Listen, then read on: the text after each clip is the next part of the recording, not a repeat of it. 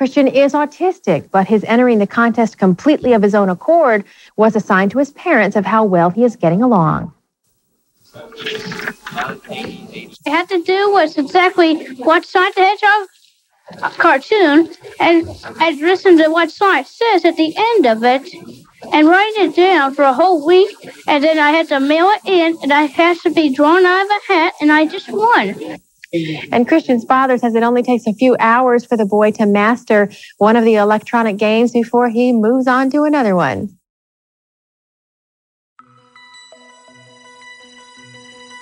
In my last video, I covered some basic facts about Chris Chan's life. We saw that Chris is one of the most documented individuals of all time, with a wiki dedicated to cataloguing his life, which contains over 23,000 pages. We saw how his life has been filled with a seemingly endless onslaught of trolling. Trolling which has taken place in a vast array of different forms, both on and offline. I also stated my reasoning behind why I believe Chris Chan and the world surrounding Chris is an ideal candidate for a case study on the subjects of anthropology and human behaviour. But these things don't tell us much about who Chris Chan is as a person. There are a lot of opinions on what kind of person Chris is. There are a lot of different facets to who Chris is. To truly understand the person, it's not enough for me to list some facts or to state my opinion. I can only scratch the surface of understanding Chris Chan. The focus of this series will be to allow Chris to speak on behalf of himself. I'd like for us all to hear who Chris is in his own words. Over the many years that Chris has been posting online, he's made many statements about who he is and things that are important to him. Those facets of Chris have also undergone many changes over time. There are vast differences in how Chris defined his own character at 16 and at 36 years old. This series will be a chronological examination of the life of Chris as a whole, and examine the changes in how Chris has defined himself over the years, in order to give a fuller understanding of who Chris is as a person. The following collection of audio and video will help to give an understanding of who Chris believes himself to be, and how that has changed over the years. We will hear how Chris defines himself as a person, what Chris identifies as, and what he loves and hates. We'll hear about his deepest fears and desires, in his own words. We'll also see how all of those things have changed over the years. As well as showing a timeline of Chris in his own words, I will also be discussing the videos themselves, so as to give context as to why Chris made the videos in the first place, and to explain the repercussions and consequences of posting those videos for Chris Chan. I'll be doing this because context is for kings, and consequences will never be the same.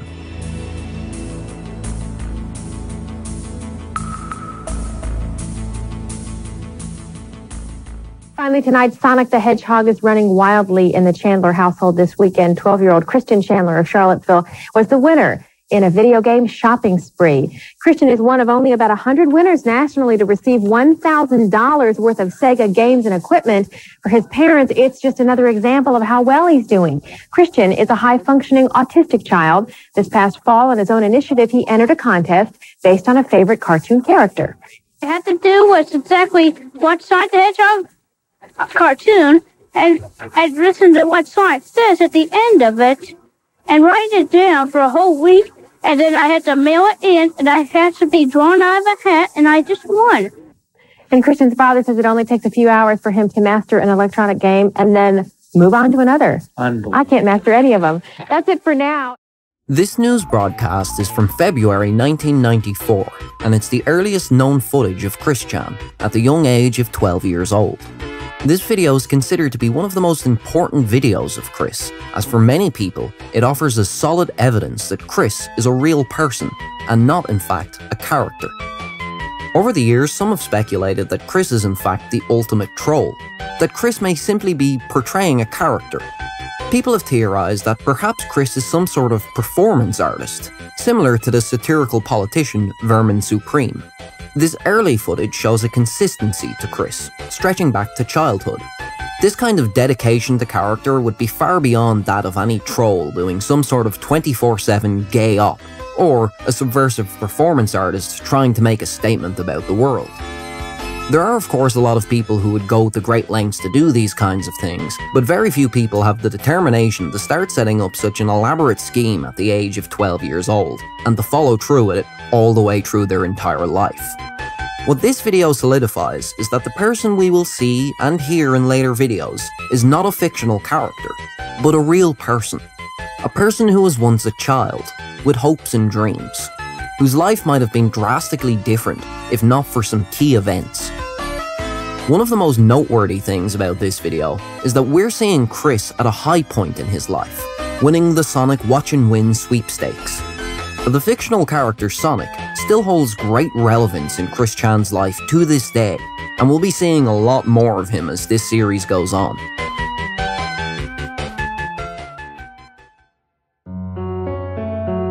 The next video we'll be looking at excerpts from introduces us to Chris at the age of 16 years old. This video is a treasure trove of insight into who Chris Chan was at an early age. We see Chris reciting a very personal poem, which he wrote for a high school English class assignment. He partly based this poem on Walt Whitman's Song of Myself. Chris made this video acting under the assumption that his English teacher would have absolutely no issue with showing its contents to a class of high school students. Anyway, uh, I'm going to do my poem now. So here goes. I hear America singing as I sing of myself, and you experience as I experience. The problems of yourself are my problems. The youth of the young singing cries a happiness. The children's song, the song of laughter. At age six weeks, I sang the song of laughter. That one and a half years of age, the Lord clicked the mute button on me. Those are my parents' songs. They pulled me through the talk again at age seven. I'm now 16 years old and good talking to help achieve new goals and Mario Raceway records and to finish my homemade Nintendo Power magazine. The magazine songs The Ballad of Sonic the Hedgehog on Game Boy. The rudeness of the teenager song, the despicable mention of rude words, and D-R-U-G-S. I'm not afraid to speak, despise the hazardous flukes in, in America's song. My song that I sing, although I talk well, my peer relationship is low and my loneliness is off the scale. Anyway, that's my poem. Now we gotta go behind the lines and see how it all got inspired. After reading his poem, Chris goes on to explain each line. He also talks in detail about his childhood. At age six weeks, I started the sound of laughter, which was my I started talking. Now my first word was monkey, and here's how it happened. My mother and I went down to a Best Products store in Charlottesville many, many years ago. Of course, you know, at age six weeks, I was born in 1982. Anyway, uh, mother was carrying me in her arms and she was shopping, but then all of a sudden I said. Uh, there was a woman, there was an old woman nearby, and uh, she so, she heard me and uh, she came over, asked my mom, "Was that your son?" And my mom said, "Yeah, that was my son." And she didn't say anything. She was just shocked. And anyway, I uh, went on and on with my mouth. That's until the uh, age one and a half years. the sad thing that happened, the Lord put the mute button on me click, click. That's what my, I'm representing my autism there. The Lord clicking the mute button. Anyway, here's how my autism began. I'm going to be very truthful here. Uh, I have babysitter, but uh, she's kind of a mean babysitter. Anyway, uh, one day she was on the phone and uh, I came up, I came up to her, I came over to her and uh, said something, and uh, she was kind of angry at me because I interrupted her phone call. Then she locked me in a room of nothing, for nothing but toys, and uh, she just locked me in there.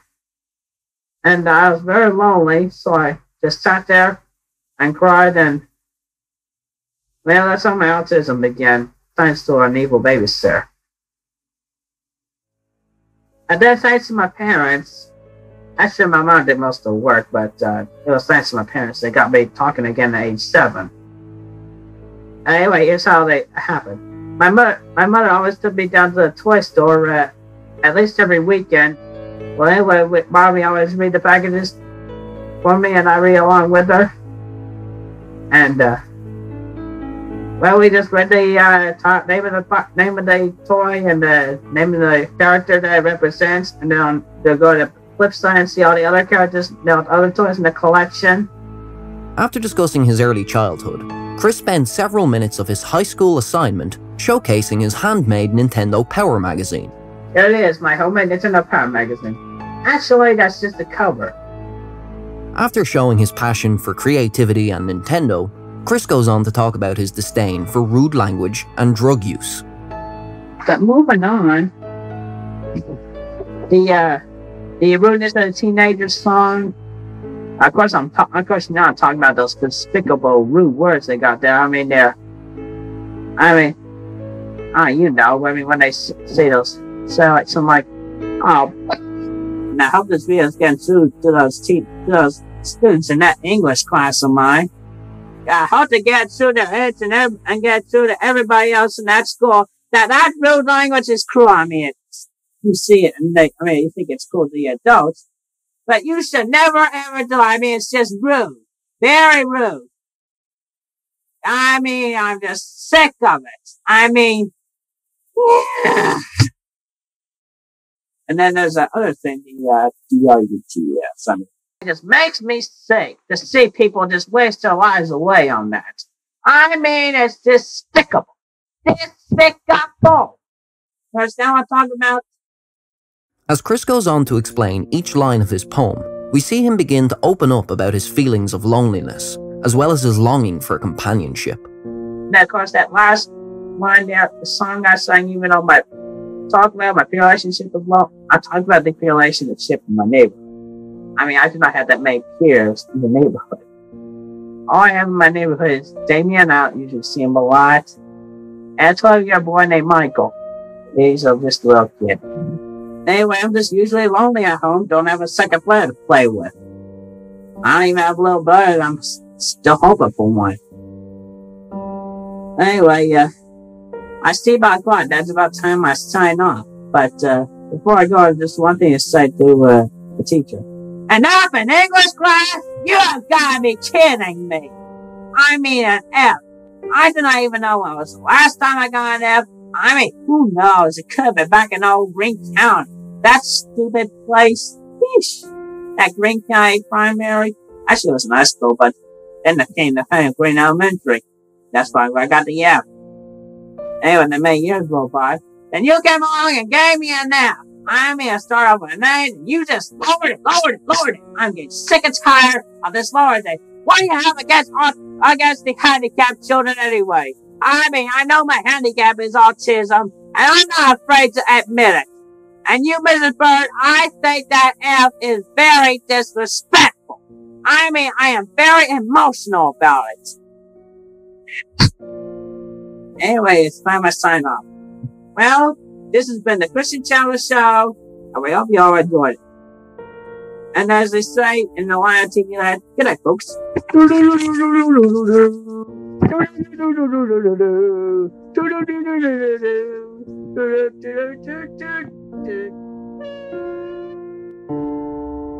In this video, Chris claims that he spoke his first word, monkey, at the age of just six weeks old. He also claims that he was mute for several years as a child. Chris also says that his mother helped him to develop his speech while he was mute as a child, by taking him to the toy store and reading the packaging of toys along with him. It would seem that at this age, Chris believes his autism is rooted in trauma. The trauma being that he was locked in a room full of toys by his childhood babysitter. Chris spent several minutes showing off his handmade Nintendo Power magazine, showing both his love for video games and, of course, Sonic the Hedgehog. In this video, we see that a 16 year old Chris has a deep disdain for drug use and rude language. Chris also discusses his feelings of loneliness due to his lack of friends. He also states his want for a younger brother. The video ends with Chris chastising his teacher for grading his previous work with an F. He states that he is very emotional about it and that he isn't afraid to admit that his handicap is autism.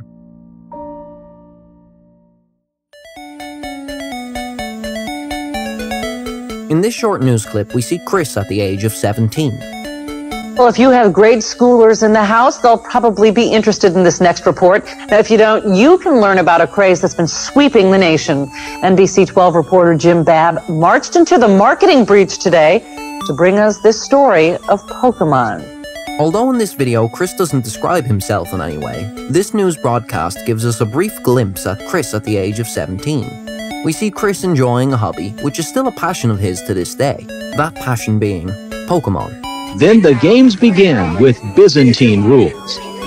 I'll switch. I put out my Dragonair, even though I have 60 damage on it. Oh boy. And I have Spear Energy on it. Slam attack. Um, I'm watching and, and uh, I still have no clue.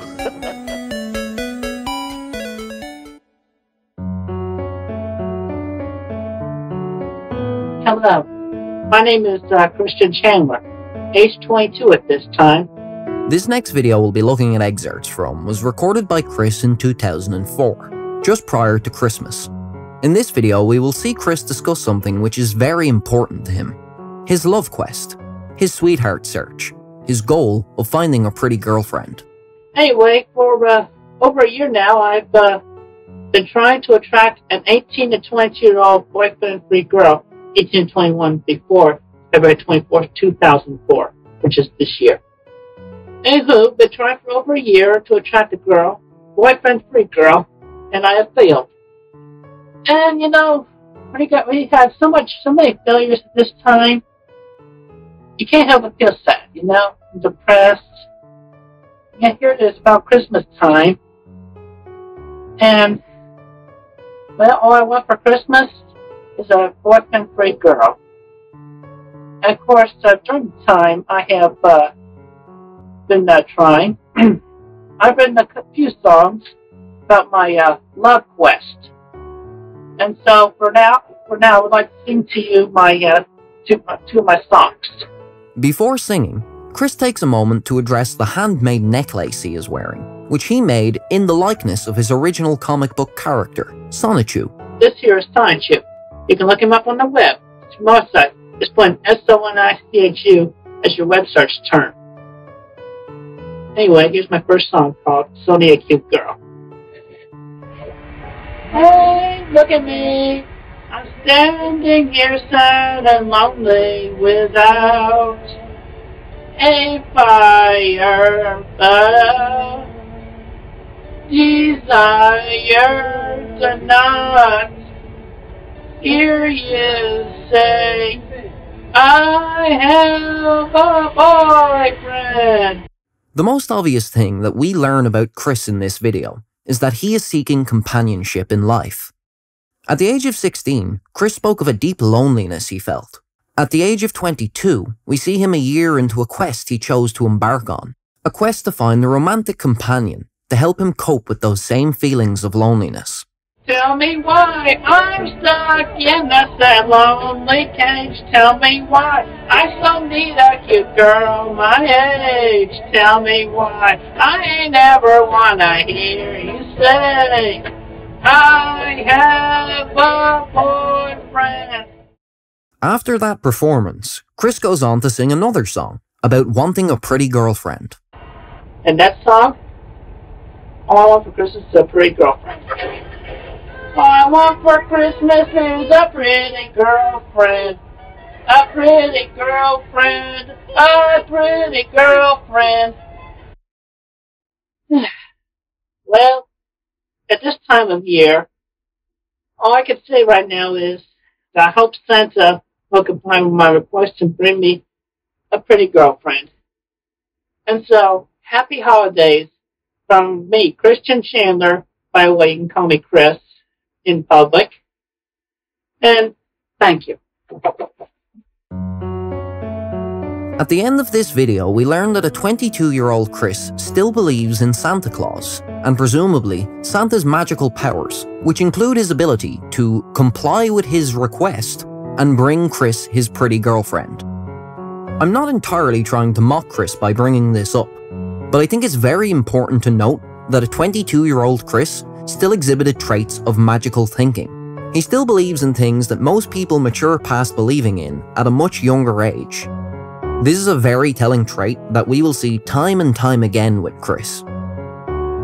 In order to help briefly explain what I mean in my usage of the term magical thinking, I will read from the American Psychological Association's Concise Dictionary of Psychology, printed in 2009. Quote, Magical thinking is the belief that one's own thoughts, wishes, or desires can influence the external world. It is common in very young children. A four year old, for example, might believe that after wishing for a pony, one will appear at his or her house. Magical thinking is also colloquially used to refer more broadly to mystical, magical thoughts such as the belief in Santa Claus, supernatural entities, and miraculous occurrences. End of citation.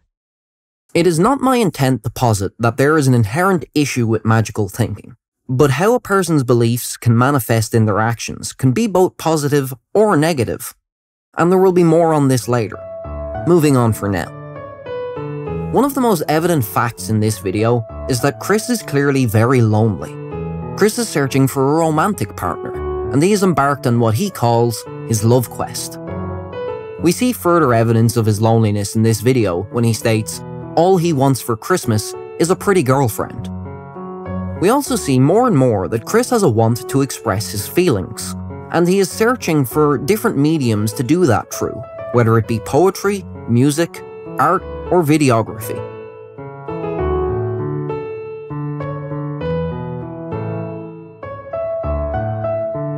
On screen now is Chris Chan's attraction sign, which he'd made the previous year to the last video, to use on his college campus. Chris had already embarked on his love quest at this time, and he had hoped that this sign would help him solicit a cute female to make into his true sweetheart. Chris briefly describes himself, as well as what he's looking for in a potential sweetheart. What Chris has been searching for in a romantic partner has changed a lot over the years, but this early attraction sign offers some insight into how Chris presented himself to others, and into what Chris was looking for in a romantic partner.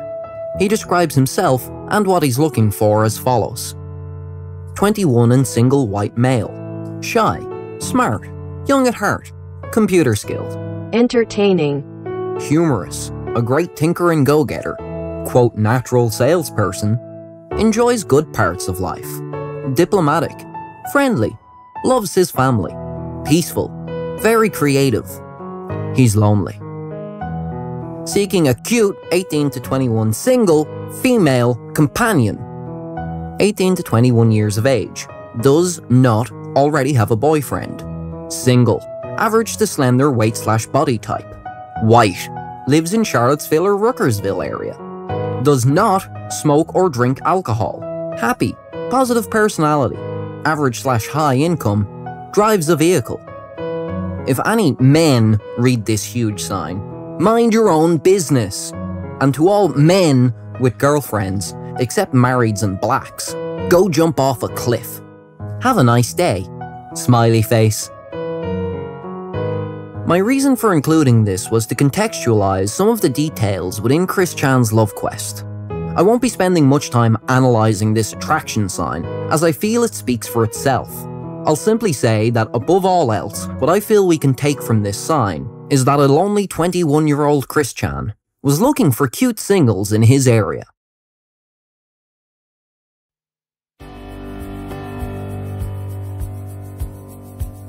The next video we'll be looking at is from Chris at the age of 25, and it's one of the most historically relevant videos there are of Christian Weston Chandler. Chris made this video in the hopes that it might one day be shown in schools as an educational video.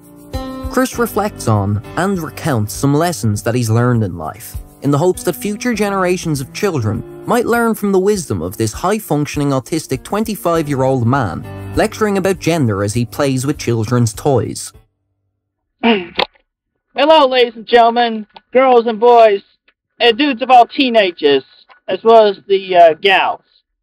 My name is Christian Chandler. I am here, and y'all are there. this message is for everyone of the present and the future beyond this date, February 24th, 2007, my birthday, my 25th birthday. I am high functioning autistic, and in my 25 years, I have seen and learned so much, and today I intended to share some wise words that I hope each and every one of you will take to heart and allow for yourself and everyone else a better, brighter future. First off, remember that going to school is not a torture, it is a place of learning, a place for growing, a place where you form the spilling of your own opinions, your own feelings, and your own personality. So learn everything you are able to and grow with it. Now, you should also be able to try something for yourself before forming praise or detest of it. As long as those things will not harm you or shorten your lifetime in any way, it's totally cool. Chris starts his list of lessons off by warning about the dangers of alcohol and tobacco consumption. It would appear that Chris still holds disdain for drug use, much like he did at the age of 16. Don't do it because I haven't done it and I don't like it doing either of them.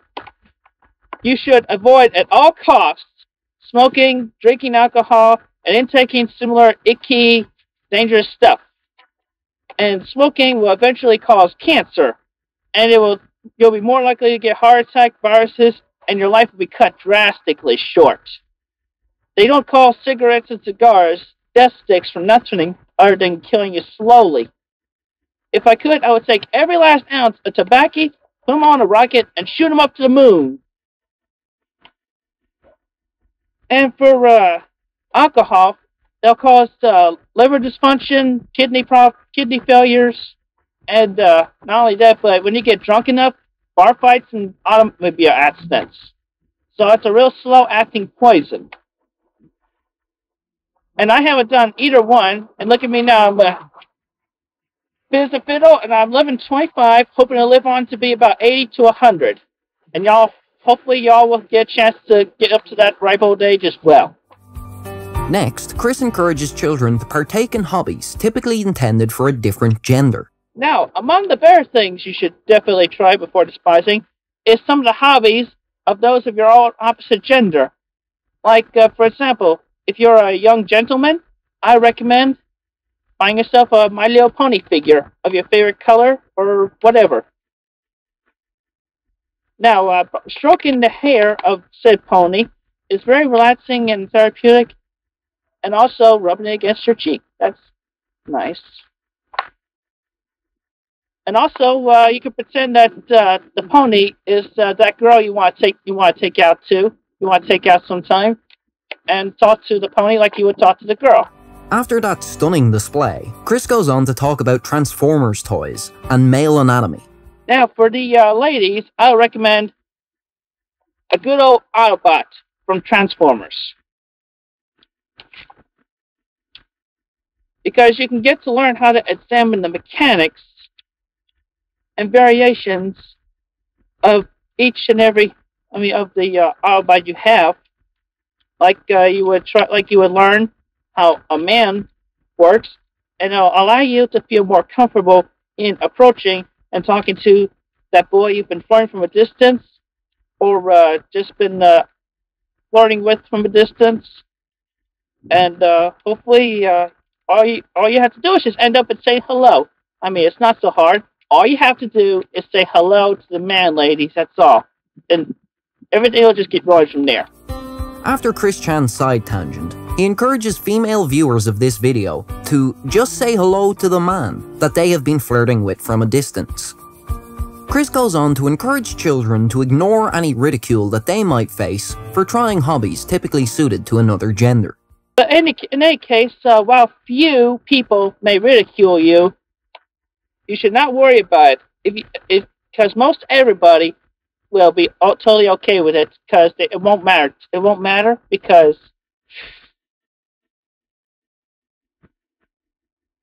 they see you enjoying it, and that's totally cool if you're enjoying it. So you enjoy it, just do it. Don't worry about other people's opi- opinions. Next, Chris encourages children to always remember what their true and original gender is when trying hobbies intended for another gender. He also discusses the importance of staying on the straight path. The real peanut gallery. That would be peanuts. Also, keep in mind that while you're playing with these things, you should keep in mind of what your true original gender is. Because uh, it's like you're learning about that girl you want to take on a date, young man. or uh, likewise, you feel more comfortable to approach that boy uh, just saying hello that you've been checking out from a distance, young lady.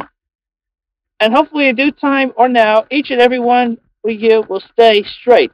You know, girl for boy, boy for girl. Everything else is vice, as said by Dr. Kinsey. Not just for me, not for the big man upstairs, not for your family, but do it for uh, yourself and for and for the benefits of everyone in the future. Your children, your children's children. And besides, if you stray away from the straight path, it can really jeopardize the entire future of the world and the human race. Next, Chris tells women that they should consider less attractive men as romantic partners, instead of just men who are rich and handsome. Also, girls and ladies, don't just go over gaga over the handsome rich boys and men because they may turn out to be disrespectful and distasteful in their personality. You should take into consideration all the other gentlemen that uh, you may have considered that may be less attractive or equally, less or moderately, because those will because they will likely have a fair personality that you will t- that you will generally enjoy and like, and they may end up having a brighter future for themselves. Like look at me now, I'm shooting this movie for a DVD. That's got I hope will be shown in uh, a couple of schools at least. Next, Chris reiterates his earlier point about staying on the straight path. He also encourages couples to overcome their disputes by remembering the times that they were most attracted to each other. Also, when you each when each and every one of you has a true general understanding of the uh, opposite gender, and after finding that special man, ladies, or that special girl, gentlemen, always keep to heart and memory the times that you two felt most attracted to each other, because that will be a key point to the recovery from any disputes or arguments that you two might have in the future. Chris goes on to further advise couples watching this video. He encourages couples to keep each other, and he also advises against ever breaking up or ending a romantic relationship. And also remember, you two should keep each other because there will be nobody else, no matter how much you think about it, nobody else that can replace that special someone, him for her or her for him. There's just nobody else. There's no substitute for that first one. Finally, Chris ends his video by listing all of the previous points he's made. He wraps up his video by advocating for peace over war. Evidently, Chris still believes in non-violent confrontation and protest. And now, I leave you with the lessons that you should have, I hope you have learned from my message. You should, all, you should stay in school, learn as you much, and try before you praise or despise. Never smoke, never drink, never worry about how others think of you when you do things, or when you play with things that may not that may not seem like you or whatever. Don't be afraid to approach those of your opposite gender. And most importantly, please stay straight. I leave you with those words as I have shared with you on this, my 25th birthday, February 24th, 2007. I am Christopher Christian Weston Chandler. Live long and shine on in your very own unique way. War is never the answer. Peace is. Never fight. Compliments will get you fuzzy wuzzies. War gets you prickly wicklies, as well as punches They get you those too. Thank you very much, and have a wonderful day. Chris believes children should find interests that are typically intended for another gender, like playing with Transformers action figures for girls, as well as playing with My Little Pony dolls for boys. Chris goes on to encourage young boys to try talking to their pony dolls, and of course to pretend that the doll is the girl that they like. Chris also rubs the pony doll against his face and says this. That's nice. That's nice. That's nice. Chris also says that children should ignore any ridicule they face for trying hobbies typically intended for another gender. He says not to worry about what people think. However, Chris says that children should always remember their true and original gender, if they are trying hobbies typically intended for another gender. As stated prior, Chris encourages children to always remember their true and original gender. Chris also believes that everyone should avoid going off the straight path, and he condemns homosexuality. Chris's views on gender and sexuality evolve and change a lot over the years, and those will be the subject of close inspection within this series. What I feel is most noteworthy here at the age of 25 is that Chris believed people should stay straight and always remember the gender that they were born with. In this video, Chris encourages women to just say hello to the man that they are flirting with from a distance. He postulates that, by examining the difference between Transformers toys, quote, like they would learn how a man works, females could feel more comfortable when approaching males that they find attractive. Chris also encourages women to seek out less attractive or moderately attractive men, instead of just going gaga over men who are rich and handsome. Chris discourages couples from ever ending their first relationships, saying that they should keep each other. From Quick's important message, we learn many things that a 25 year old Chris values as important or sees as distasteful. One example of this is that Chris encourages everyone to pursue scholastic education, in this video, we learn that Chris still holds a disdain for drug consumption, much like he did at the age of 16 when he made the Song of Christian video.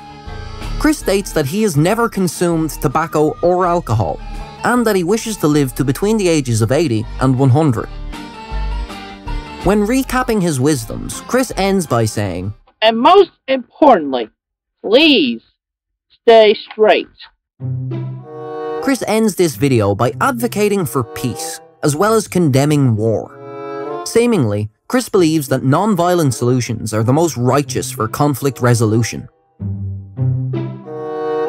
I think there are some interesting parallels between the Song of Christian video and this previous video, Quick's Important Message, and I'd like to briefly cover them here. At the age of 16, Chris made a video hoping it would be shown to his high school English class. At the age of 25, he made a video which he hoped would be shown in schools as an educational presentation. At 16, he spoke in length about the difficulties that he had faced in his childhood. At 25, Chris feels he's learned a lot in his short life, and he wants to share what wisdom and knowledge he has gained. At 16, Chris spoke about how his mother had helped him to overcome his inability to speak as a young child. He said his mother taught him to speak by reading toy packaging along with him. At 25, Chris believes that playing with toys for the opposite gender can have beneficial effects on the development of skills for intergender social exchange. At 16, Chris expressed loneliness due to not having many peers to socialize with. We know that at 25, Chris is several years into his love quest. In this video, we see Chris encourages ladies to approach the man that they have been flirting with from a distance. Chris also encourages women to seek out less attractive or moderately attractive men. He also discourages couples from ever breaking up. It would appear that over time, Chris has a growing desire for companionship, and that he places a lot of importance in romantic relationships, as well as the longevity of those relationships.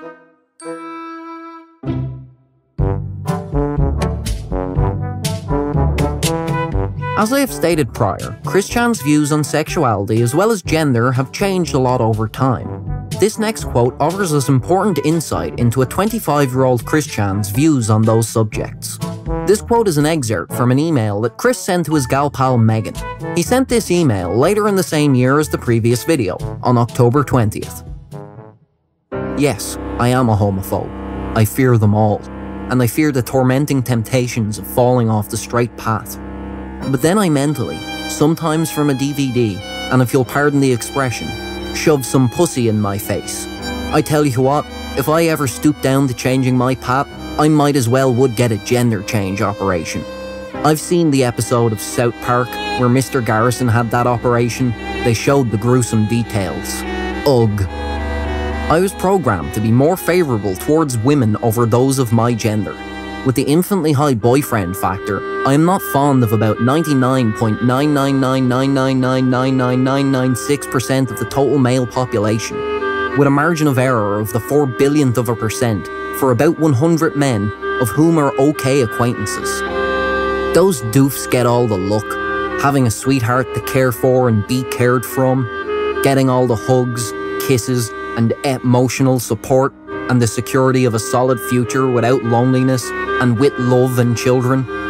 And besides that, my autism is not much help on the programming of my mind. Sigh, oh my life.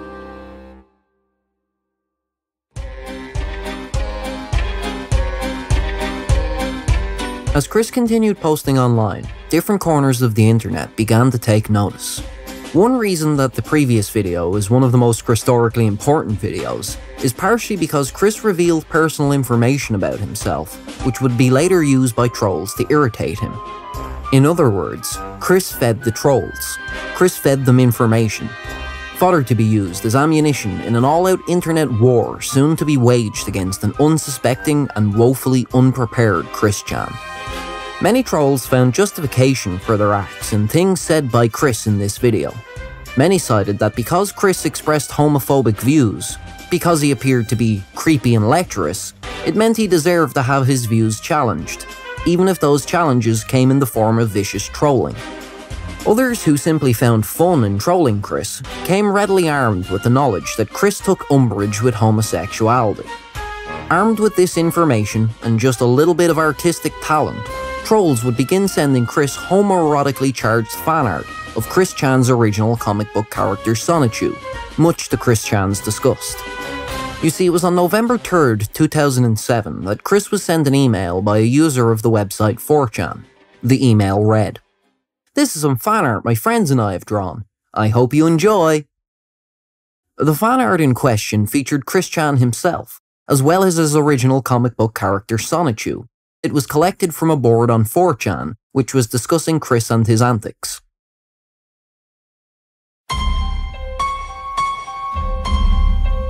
Chris had this to say in response to the 4chan user known as Evan Christopher George the next day on November 4th, 2007. Thank you for your fan art contributions. In constructive criticism, I like the one with me and the quote, girlfriend editions, as well as me glaring in the eyes of the blue guy but I am feeling great detest towards the other two. Sonichu and I are not of that nature at all.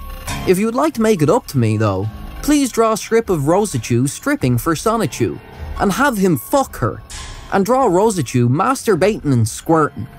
I am straight, damn it.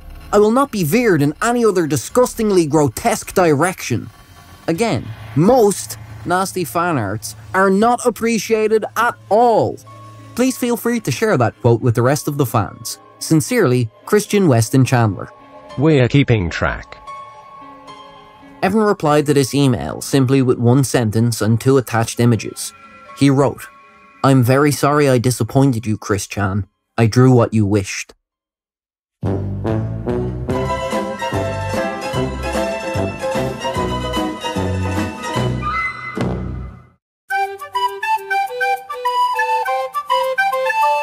Another 4chan user known as Samuel Burrow emailed Chris two days later on November 5th. Samuel was emailing to inform Chris of a webpage dedicated to mocking him, posted on the satirical wiki site Encyclopedia Dramatica. Samuel was also emailing Chris to inform him of a catfishing scheme which was being planned on the website 4chan. The email read, Normally I don't care for what my peers at 4chan.org do, but I bring you some news the people over at V, aka the video game board, are making fun of you and made the Encyclopedia Dramatica.com forward slash Christian site, which you already know. But I left them to it as I couldn't care less what they did. But now they have hit a new low and one is planning of pretending to be a girl in hopes of getting you to send nude pictures to them. As I said, I normally don't care what Anon does, but I find this sad and immature, and so I feel I must give you a heads up on Anonymous's plans to ridicule you on the interwebs. Later that same day, Chris stated in an email to his gal pal Anna McLaren that he found the ED page when he googled the word Sonichu, and he made no mention of the email from Samuel Burrow. Often with Christory, sources of information will conflict with one another, which can make it difficult to know the exact truth of what happened. What is known for certain is that on November 5th, 2007, Chris was in fact aware of the ED page mocking him. And on screen now is a close approximation of what the ED page looked like on November 5th, 2007, courtesy of the Wayback Machine.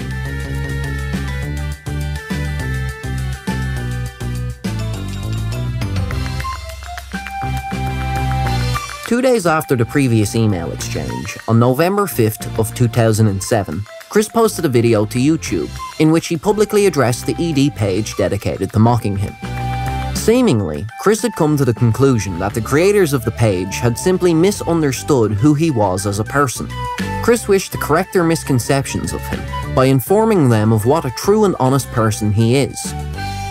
Anyway, it has also come to my attention that I have a lot of people who may have picked up on the wrong theories of my person. I would not quote any hate sites, but I would like to humbly apologize for appearing to be some kind of sleaze, troll, badass, or whatever adjectives, good or explicit, you may feel about me. Please understand, I am a 25 year old high functioning autistic male with a simple, peaceful dream of becoming a father of a sweet little pretty girl who I will dub the name Crystal Weston Chandler. Crystal, a name that sounds similar to mine, but it has a nice ring to it, and it's also similar to the illustrious metal that is mine from the Earth's ground. Weston, my mother's maiden name, and a proper English name from royal descent. We have uh, we have been traced down to Daniel Weston, who was on the Mayflower voyage, and uh, beyond him, Anne Boleyn, who was the uh, one of Henry VIII's King Henry VIII's wives, who gave birth to uh, Queen Elizabeth I. And Chandler, the uh, name my fa- the family name my father had. From his side of the family, we have the uh, Cherokee blood. I'm one sixteenth. Yeah, short line there. Cherokees, we're a respected tribe. We should be respected anyway, even though we were forced into the Trail Cheers. But that's another that's another whole nother story. You can go read. You can learn about in your local libraries. Um, my mother and my father are both really nice, old-fashioned type people who not only gave the birth gave me birth at their ages, which my mother is 66 currently, and my father is currently 80. They both just turned that way in the last couple of months. And uh, I was born in 1982.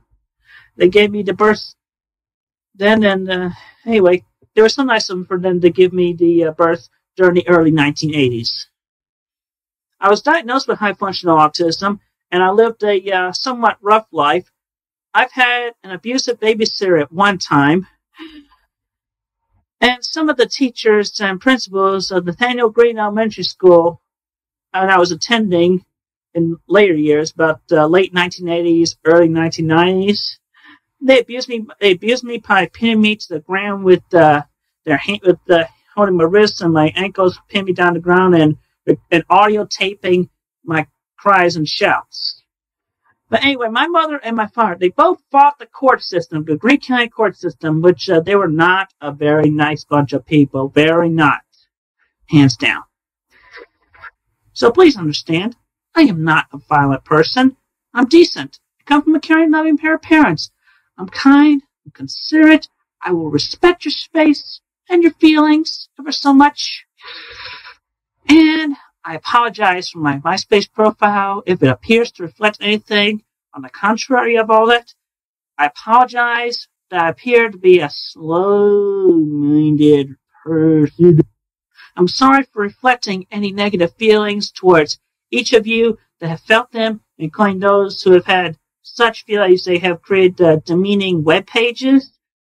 All I ask, all I ask, those people who are watching this right now, is just take them down, please. I'm asking, as an innocent victim of misunderstanding, just take down your web pages or add them to positively better reflect my feelings as an individual, as a person, as a man who has suffered like most everybody in this world that we all live in.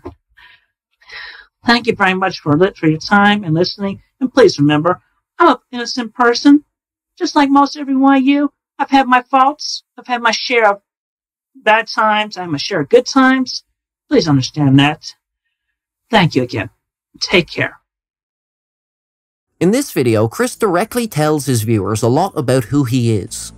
He talks about his greatest dream in life, to have a daughter named after the illustrious metal, crystal. Chris recounts the history of his family and his two second names. Much of the family history he believes he has is verifiably false, however. But it does show us he has great reverence for his supposed ancestry, as well as his mother and father. Chris also shows a great deal of pride in his own name, Christian Weston Chandler. Chris says that he was diagnosed with high functional autism and that he has lived a uh, somewhat rough life. Going on to talk about some aspects of his somewhat rough life, Chris mentions that he had an abusive babysitter at one time. Chris also recounts an incident from his childhood. He claims that his elementary school teachers and principal forcibly held him down and recorded his screams of anguish. Chris states that he is not a violent person. He describes himself as decent, kind, and considerate. And he says that he will respect your space and your feelings ever so much. Throughout this video, Chris makes several apologies.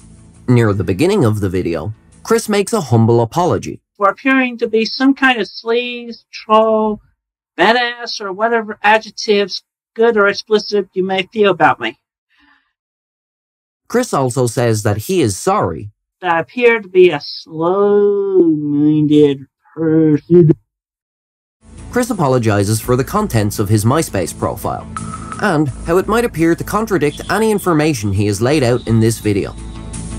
After a final summary of who he is, Chris goes on to make one final apology. He says he's sorry for reflecting any negative feelings towards each person that has felt them, including those who have had such feelings they created the demeaning web pages. After his apologies, Chris goes on to make one final plea to the creators of the ED page. He asks that they recognize his struggles, as well as who he truly is. He asks them to either remove the page or edit its contents to better reflect what a kind, considerate, true, honest, and innocent person he is. To summarize this video, Chris basically unloads a ton of personal information about himself in order to try to convince people that they've misunderstood who he really is. However, this attempt to sway public opinion of himself was done in vain. What Chris didn't realise is that the people mocking him had no intention of stopping. Furthermore, Chris didn't realise that the more he revealed about himself, the more information people would have to weaponize against him in their trolling efforts.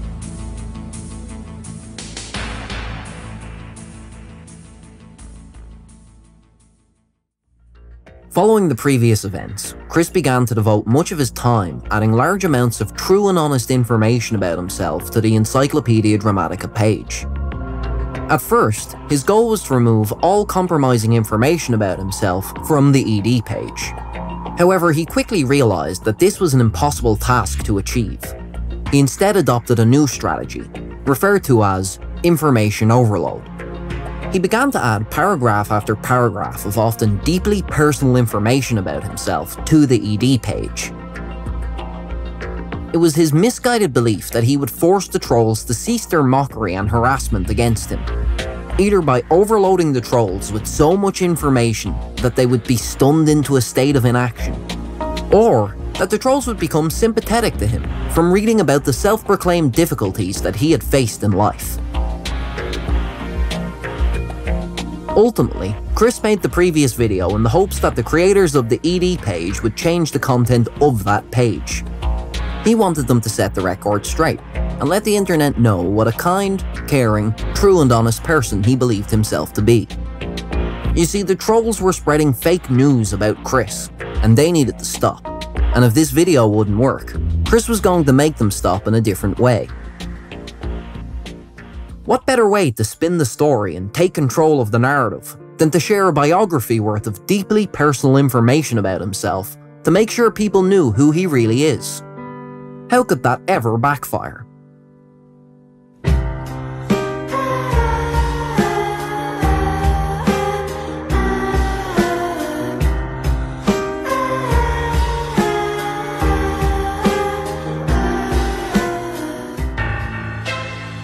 Prime example of Chris feeding trolls information comes from the previous video.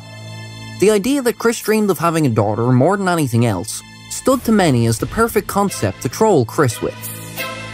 Chris showed the sharks where he was weakest, and the trolls began to circle him, ready to bite Chris until their eyes rolled over white. Chris makes it clear that his greatest dream in life is to have a daughter named Crystal. Crystal, however, is the name of a character in Chris Chan's webcomic. This character named Crystal is Chris Chan's fictional twin sister. But there's nothing wrong with that, right? Chris gave the same name to his fictional sister as the daughter he dreams of having someday. How can anyone ever twist that against Chris? What's the big deal? The big deal occurred during the She Came for Quick incident, which occurred on November 11, 2007, just four days after the previous video was posted. At this time, Chris was still engaged in Operation Information Overload. You see, at the age of 25, Chris would become extremely defensive towards just about anyone who questioned his heterosexuality. And this caused many people to troll him by saying that he is gay. One thing which truly enraged Chris at this point in time was that the Chris Chan ED webpage contained fan art of Chris and his comic book characters engaging in homoerotically suggestive acts. So on November 11th, Chris put into place his most cunning plan yet which he was certain would dispel the baseless rumours of him being gay once and for all, and assert his heterosexuality to all of those stupid, nasty trolls. You see, if the trolls are going to post gay fan art, what better way to beat them than to replace those pictures with straight fan art? But where would Chris even find such a thing? We all saw what happened the last time Chris demanded a fan draw some straight fan art for him.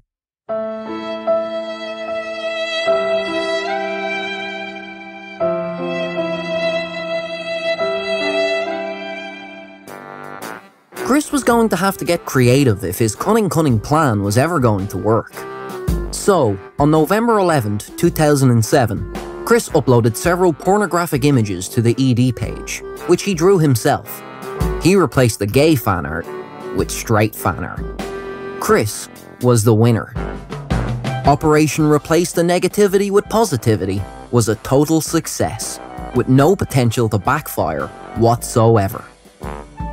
Unfortunately, this backfired stupendously on Chris and served as one of the most monumental mistakes he would ever make in his life. A mistake so huge, it destroyed the deepest friendship he had at the time. You see, one of those pictures that Chris drew was a self portrait of sorts, entitled She Came for Quick. In this self portrait, Chris is performing a sexual act on a young woman. A young woman which many people said bore an eerily striking resemblance to none other than Crystal, Chris Chan's fictional cartoon sister. Accusations of Chris lusting for incestual relations with his make believe sister started to flood online forums and discussion boards. People were also accusing Chris of desiring to have a young daughter in an impure way. People cited this picture as evidence that Chris was some sort of lecherous paedophile. And all of this came to a head when Chris revealed that the young woman in the picture was in fact Megan, his best friend. Something which Megan was rather disturbed by something which drove a wedge in their relationship. This event created a rift between Chris and Megan, which could never be closed.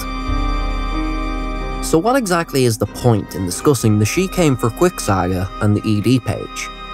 Well, there are many points, but the key point for right now is that when Chris reveals information about himself, things that he hates, things that he desires, things that mean a great deal to him, trolls use all of that information against him and this is a key example of that. Chris didn't understand that he needed to stop engaging with the trolls. He didn't understand that the more he revealed, the more he could be hurt. All of this led to Chris being provoked into an action which destroyed something very dear to him. His actions, his posting deeply intimate facts about his life, his involving his friends in his online debacle. These things say just as much about who Chris is as Chris said about himself in all of those edits to the ED page. I know that this has been quite the sidetrack from videos of Chris talking about himself, but the context for why Chris created these videos and the consequences of his posting them are just as relevant as the content of the videos themselves. But for now, let's move on.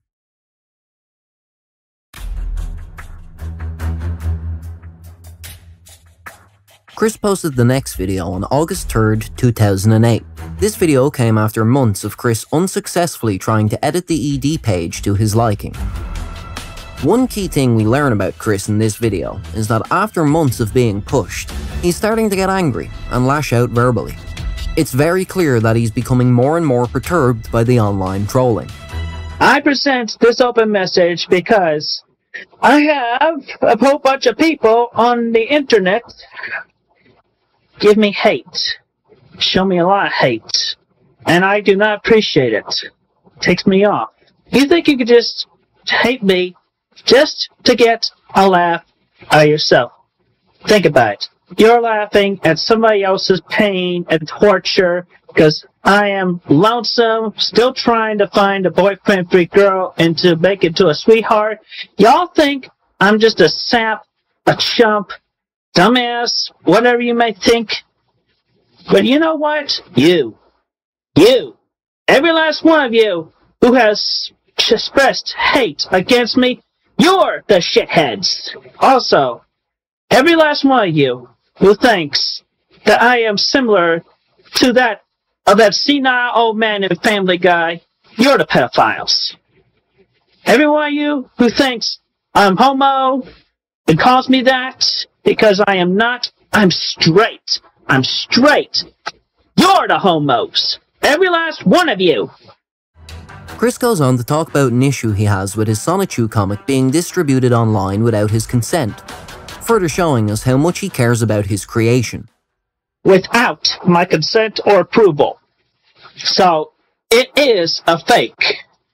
And if it ever is published, or if it ever shows profit, let weigh on your consciousness throughout your eternal life that you are torturing and worse off tearing the heart and soul and emotions of the innocent man. The, the innocent still 26 year old virgin. Not only that but i have so many lonely nights and stress that you cannot just imagine it. Next, Chris addresses the Encyclopedia Dramatica page. He expresses great disgust at its content and towards the people who have contributed to it. From every last one of you who has contributed to that Encyclopedia Dramatica webpage, and every other forum, internet document, lewdly drawn pictures with dicks. I love dykes. Dykes. China. I'm straight. If I ever, if I see a dick, I just look away with a moment of being freaked out. After once again asserting his heterosexuality, Chris then goes on to talk about the She Came for Quick incident and who he feels is to blame for his lost friendship with Megan. And am I, am I or Megan Shore still an iron? Which, by the way, she broke up with me so much long time, so much long ago because the contributors to that ED page, you broke the emotional strength between us. You promoted such twists and turns to everything I have said and drawn and written and whatnot you broke up the best friendship, the best relationship, the closest I could ever have in this pitiful adult life. You did it! Every last one of you. If I could blame myself, I would definitely blame myself for drawing those five pictures. Uh, those five drawings. And by the way, that is not Crystal whose eyes are censored. That is Megan. And just for and just for, for taking it up and twisting it around as such. Think about it. Think about it. Lay on your conscience. Next, Chris threatens to withhold any further issues of his webcomic Sonichu, unless trolls stop their online hate campaigns against him.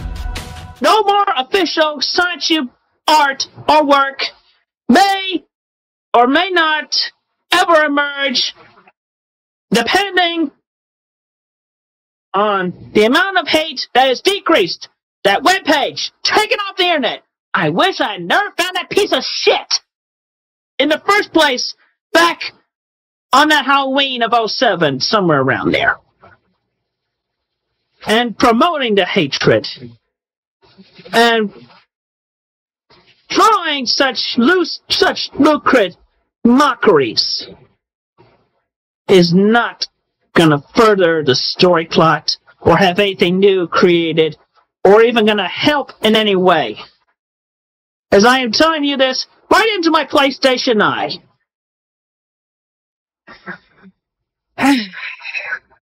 Chris goes on to discuss his search for a sweetheart and his dream of having a daughter. If I ever do find the one that is to be my sweetheart, I will give her such care, such tenderness, such love. We get around to hanky panky, that's fine. That's good. We get married. I will have my God creation, my God called daughter. She will be taken care of lovingly. Those of you who mock me otherwise with such frivolous, lucrative adultery,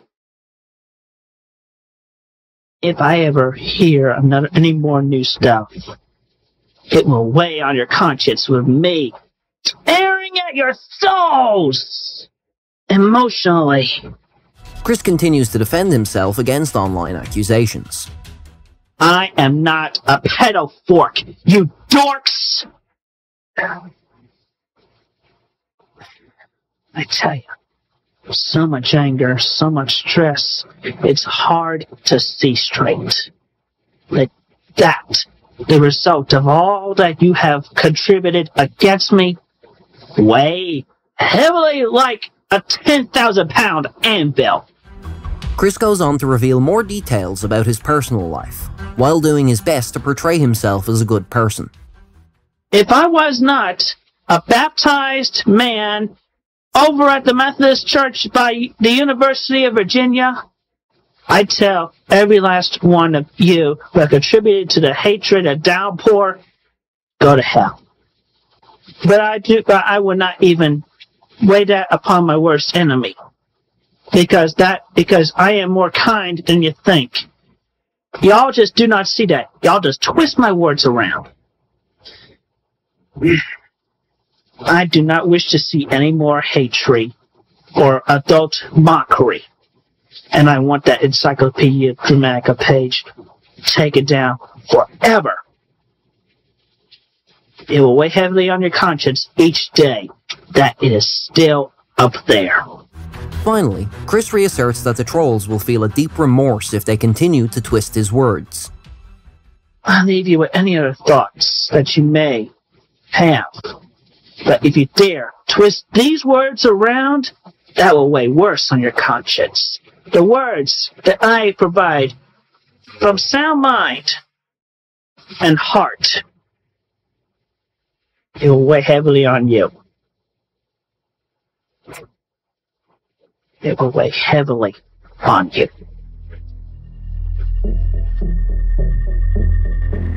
Chris seems to be reaching his boiling point in this video.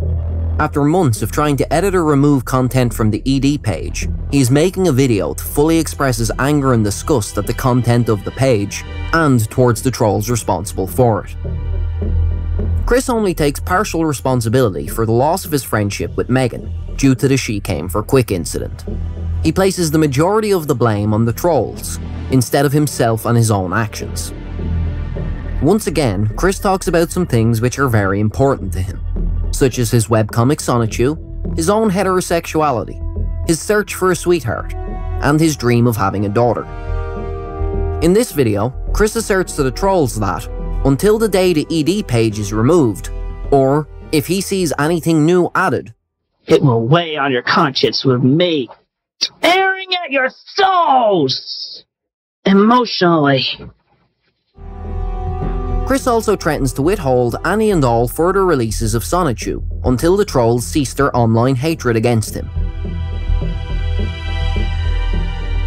Chris made this video because he wanted the online trolling and hatred directed against him to stop. He also wanted the Chris Chan ED page to be removed.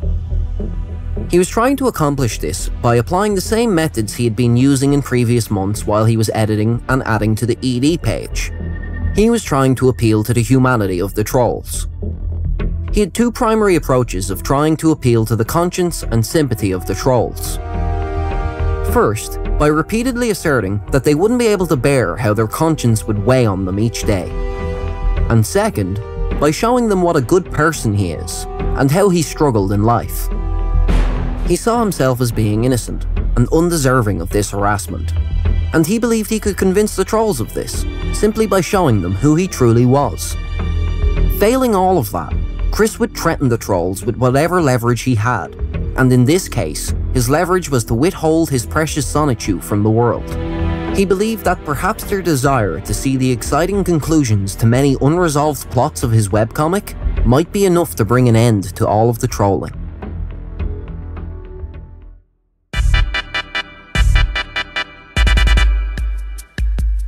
On January 12, 2009, a nearly 27 year old Chris posted the following video. Chris made this video under the coercion of a troll who had attained his passwords to sonichu.net. It was Chris Chan's belief that control of his website would be returned to him if he were to make a video proclaiming his homosexuality. Chris, however, opted to make a video proclaiming that he is straight. Despite the fact that this video was made under duress, we can learn a great deal about the conceptions and beliefs that Chris has relating to the sexes, as well as gender roles in society and in relationships. You know who I am. But I have randomly decided to make this video because I am sick of all the false accusations and rumors and slanders that have been going around on the internet about against me. So I tell you, so I tell you for sure and for true that I am straight. I can tell I can tell you why from my lifetime stories, but I'll tell it to you in just a few short minutes. Anyway, most of my friends in my life have been female.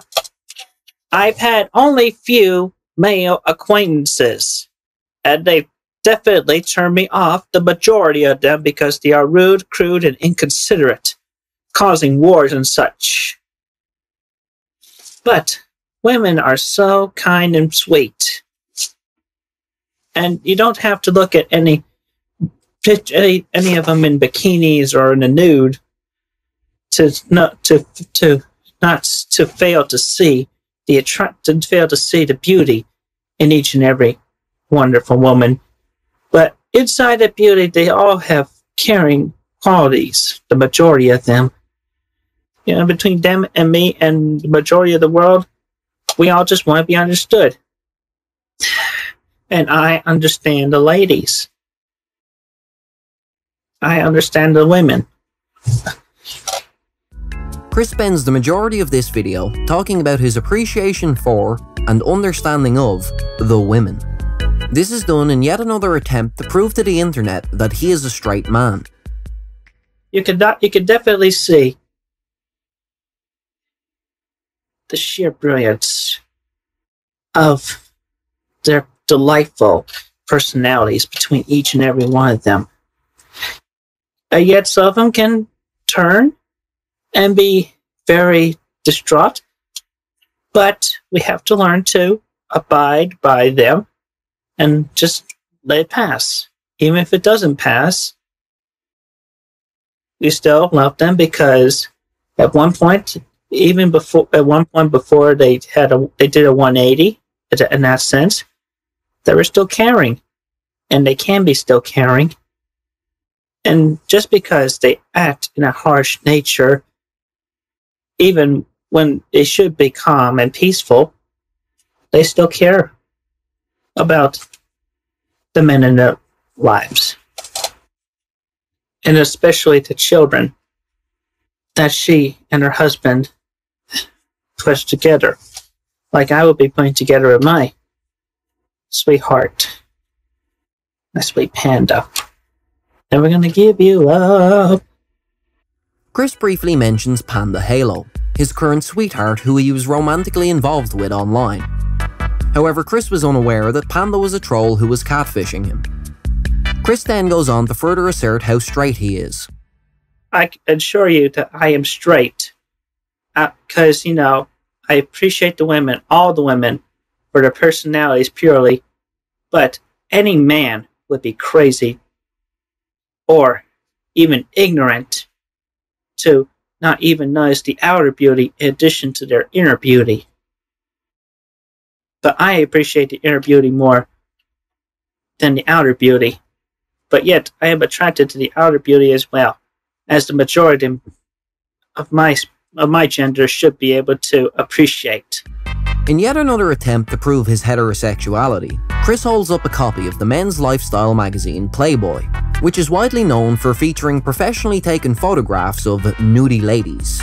We can all certainly see Chris has an appreciation for the female species, the females, the women, the beautiful ladies.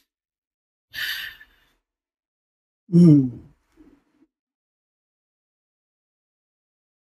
But I digress with holding a Playboy, because I do not need to hold a Playboy to further prove that I am straight. Before long, Chris goes on to discuss the topic of his sweetheart search, as well as his ex-friend Megan. He says that despite being thwarted by her in the past, he doesn't hold any sort of grudge against her. It would seem that Chris is ready to forgive her for rejecting his romantic advances. Because I am educated between my life, between throughout my whole lifetime and the classes I have taken between SEDS and high school and real life experiences and my ins and outs and my sweetheart church search in the past, the long past. Even though I was thwarted by one female, I will not hold the grudge against her. Because I'm sure that she is sweet to others, especially to the men that are actually closer to her in her life than I have ever was or ever capable of being. I still will not hold the grudge against her. Yet I will, yet I have drawn previous times moments of rage and anger against, but expressing the anger in a in the sense of drawing,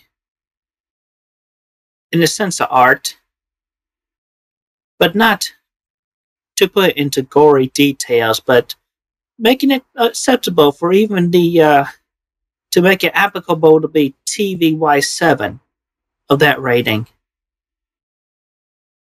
That is not total rage because that is rage, negative rage being put into positive. I put most of my rage into positive outgoing outcomes, positive drawings, positive inspirations because I care about the women and not just the women that I have drawn and care about personally, but everyone that every woman that I am only acquainted with or do not know personally or or or even just total strangers to me. I still care about the women. And I even go as far as to stoop stoop to one low level boobies, vaginas. Mmm. Gorgeous. Very gorgeous.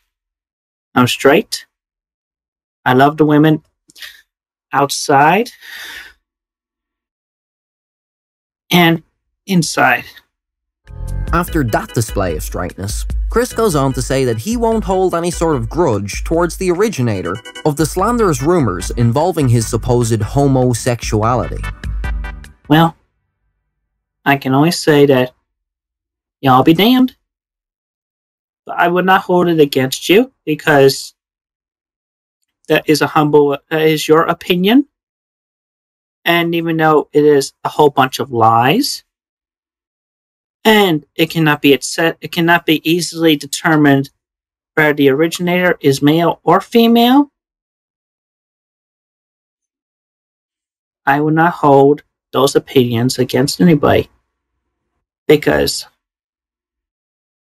i care. Chris goes on to talk about the ways he sees women as being superior to men. Chris is not only showing his appreciation for the women, but also his disapproval of his own gender. And I care more about the women. But I will associate and cope with in a, in a, in a okay light with those of my own gender. But I will show more affection and appreciation and care for the women. For the women. Because they are truly the delightful, the more powerful, the more agile, the more capable of coping with stresses in the lives in and around us all. Even the stereotypes they can they will express their anger against it. But that is because they care about themselves and they want us to appreciate them individually for who they are. But i digress. I am straight because i care about the women individually. I appreciate their humble opinions and as well as uh, their outer beauty and their inner beauty. And to every one of them, I offer a hug. You don't have to get in person because get because you can easily get that from those that are very close to you. Right. So Christian Weston Chandler, I am straight.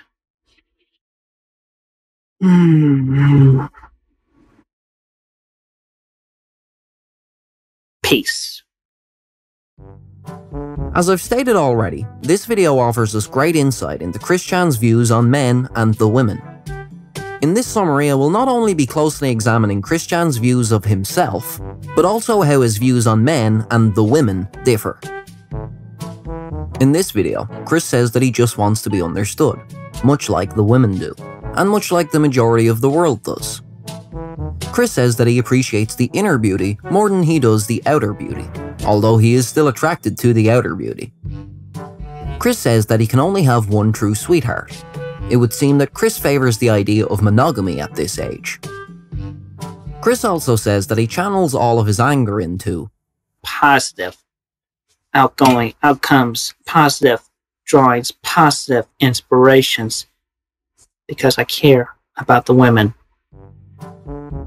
It would seem that Chris sees expressing anger as actual anger as being something that is inherently negative. Thus, he tries to channel his anger into positive creativity. Chris also obviously sees himself as being a very caring person, at least when it comes to the women.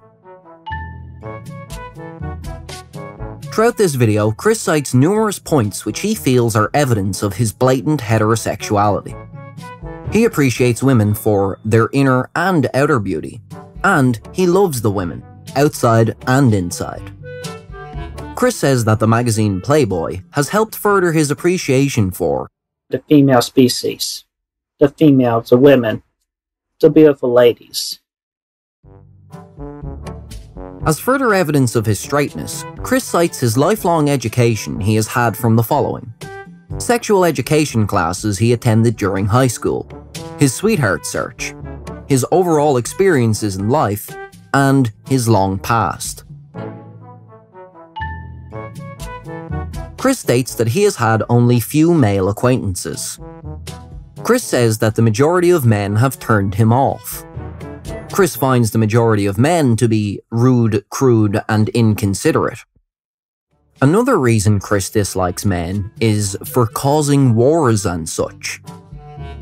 Chris also says that he will only associate and cope with in an okay light with those of his own gender. Chris says that the majority of his friends in life have been female. Chris says he will only show affection and appreciation and care for the women. Chris says that he cares about all of the women, not just the ones he has drawn or knows personally, but each and every one of the women. Chris says that he cares about the women so much that he would even go so far as to stoop the one low level boobies, vaginas. Mmm, gorgeous. Very gorgeous. Boobies. Vaginas. Mmm. Gorgeous. Very gorgeous. He says that you can see their beauty, even without needing to see them in bikinis or in the nude. Chris says that he understands the women and also appreciates their humble opinions. What a guy. Throughout this video, Chris ascribes numerous traits to the women.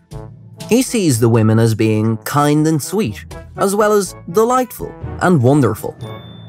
He also says they have caring qualities, the majority of them, and that they have delightful personalities.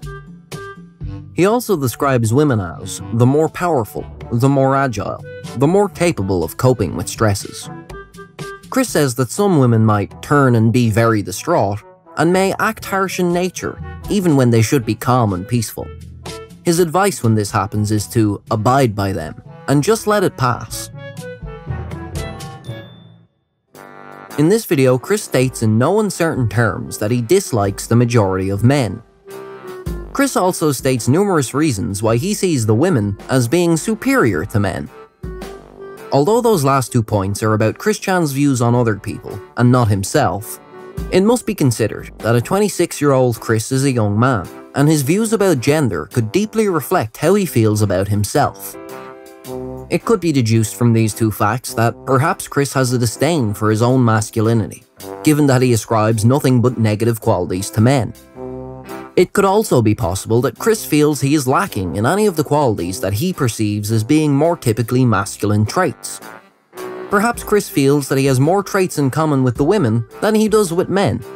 He may see himself as having many of the same qualities that he views as being more typically feminine traits, such as possessing a caring nature and not feeling that he is inclined towards violence, i.e., causing wars and such. This kind of speculation is merely conjecture, but I think at least a little bit of speculation can help us explore what Chris Chan's views might potentially show us about who he is, and who he sees himself to be. But let's put conjecture and speculation aside and move back to the actual facts. During this video, Chris indirectly mentions his ex-friend Megan, as well as the events of the She Came for Quick incident. He defends his actions, saying that he drew those pictures in anger, and that That is not total rage, because that is rage, negative rage being put into positive. Chris feels that by taking an emotion he sees as inherently negative, and creating something positive from that negative feeling, he is thus indemnified from any potential wrongdoing. His logic seems to be that the positive he has created, i.e., his art, is the lesser evil than just expressing his rage in some way. Chris says that despite his romantic advances being thwarted by Megan, he will not hold a grudge against her. His reasoning for not holding a grudge is that he is sure Megan is still sweet to the men in her life.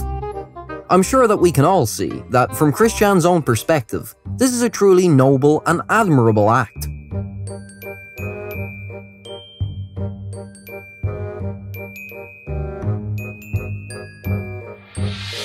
This next video we'll be looking at excerpts from was posted by Chris three days after the previous video, on January 15, 2009.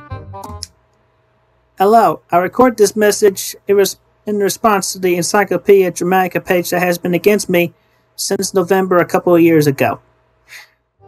Chris opens this video by saying that the ED page is filled with nothing but heinous lies about him. He then goes on to briefly describe what kind of person he sees himself as, to help people truly understand him. To actually, to actually best understand me, I am a good person. I'm a good person. I'm good natured, but I will show my fangs when I have to. Only when I have to. I'm showing my fangs right now against that page. Chris spends some more time denouncing the ED page before he goes on to exhibit further signs of magical thinking, as well as showing the trolls what he meant by his fangs. I curse y'all to bad luck and extreme misfortune. Shinye Hame Ha! Peace. In this video, Chris describes himself as being a good person, and as good natured. Chris also says that he will show his fangs when he has to.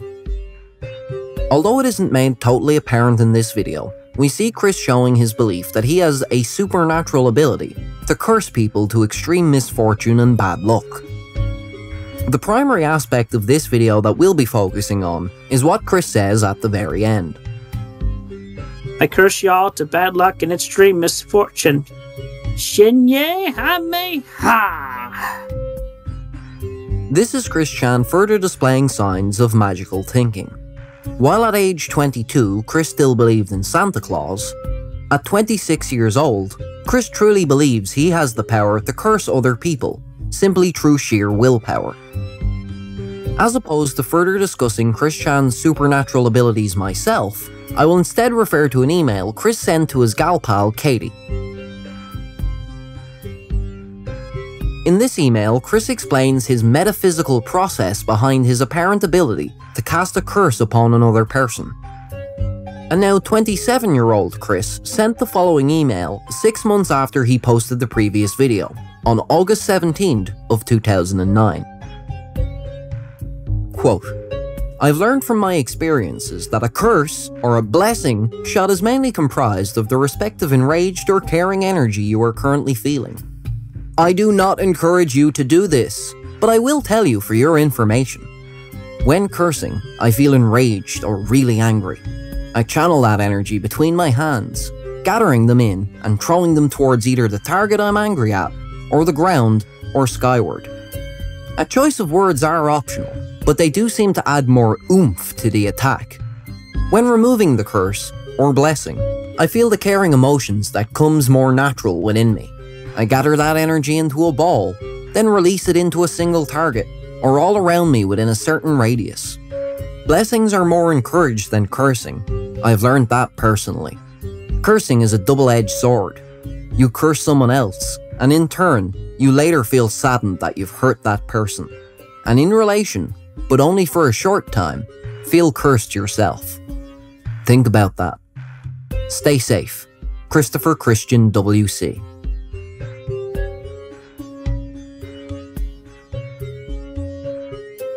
After months of revealing to the world his deepest aspirations, loves, and hatreds, months of sharing his life story to anyone who would read or listen to it, after putting into place plan after plan which all backfired on him, Chris had not yet learned that doing so was only causing him more and more anguish. Even at the cost of his closest friendship, Chris still continued to frequent and add to sites like Encyclopedia Dramatica.